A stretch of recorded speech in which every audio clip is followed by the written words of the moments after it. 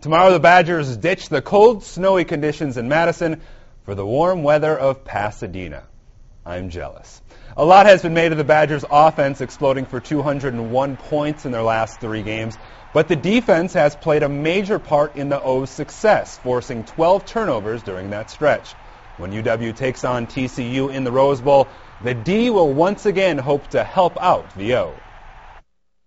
We just need to get our offensive ball as many times as possible. We need to create takeaways. We need to create momentum swings uh, because once we give our offensive ball, they go to work. I mean, we've seen it all year.